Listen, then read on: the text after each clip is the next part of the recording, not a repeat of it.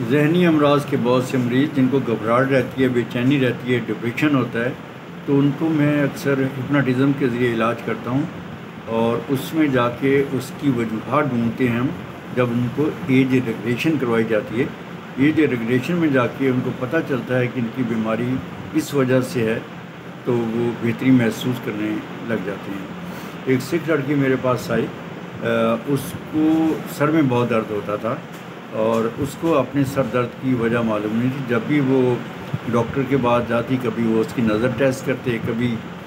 उसको कानों को चेक करते कि इसके सर की दर्द की वजूहत क्या है। जब मैंने उसको हेपनाटाइज किया और उसको एज रेगुलेशन के साथ मैंने उसके माजी में ले गया तो उसको समझ आ गई कि शादी की फ़र्स्ट नाइट उसको डाइवोर्स कर दिया गया था